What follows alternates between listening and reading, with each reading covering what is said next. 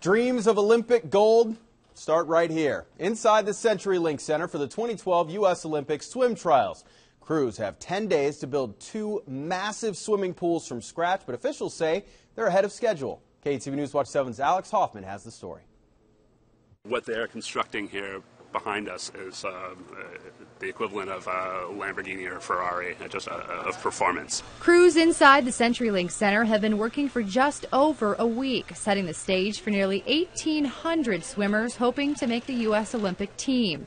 Ten-time Olympic medalist Gary Hall Jr. competed here in 2008. They did an outstanding job here in Omaha, and I'm expecting that they'll uh, surpass what was accomplished in 2008. Myrtha Pools is the official manufacturer and built both pools in 2008. This time lapse video shows the process of constructing the main competition pool four years ago.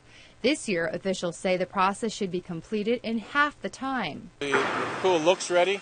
It's just a few more plumbing items to do and then we'll be ready to go. Now the next big step here in the construction phase is to actually fill this pool. That process will take about two days, totaling just under one million gallons of water. It's not just a matter of putting water in the pools. We then have to treat the water, get it up to the right temperature, get it uh, sparkling and circulating correctly. Uh. And with those last minute details in order, the final step is filling every last seat with thousands of screaming fans. It makes your hair stand on end, and uh, it definitely affects the performance. In Omaha, Alex Hoffman, KETV News Watch 7.